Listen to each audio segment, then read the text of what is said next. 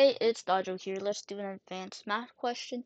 In this given equation, k is a constant. The equation has exactly one real solution. What is the minimum possible value of 56k?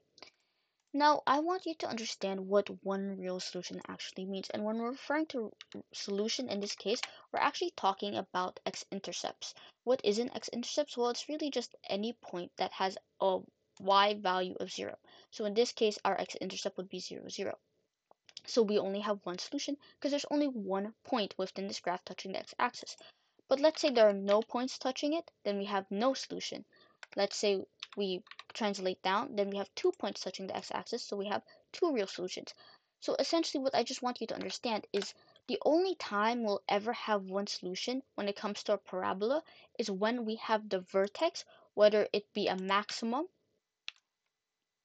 like this or a minimum like this when the vertex is the only point touching the x-axis, that's the only time we have one real solution.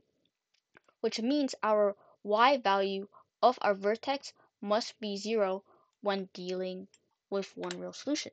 So using that conceptual knowledge, we could actually very easily solve this through Desmos. So if you were to do this by hand, you would use something called the discriminant, but we're not going to use that in this case.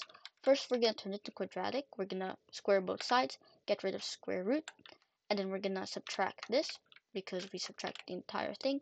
If we subtract from the right, we subtract from the left. That's from the property of equalities. And I want you to notice something. If I find the vertex of when k is equal 1, k is equal to 1 in this graph, even if I change the value of k, the x value of the vertex is going to be the same. Why? Because k is a constant. The only thing that's changing is our y values. So because we know what our vertex is, what else do we know? We also know it's one real solution. And what do we know when it comes to the vertex and the graph being one real solution? Well, we know that our y value has to be 0 because that's the only time you can have one real solution. So what we could do is we could define our function as f of x and we could take the x value of the vertex that we found and we could plug it into the equation and since we know our y value has to be 0 because it's one real solution, we could actually find k. And then we could simply do 56 times k, and then boom, we have our answer, 122.2857, blah, blah, blah, blah. You can round yourself.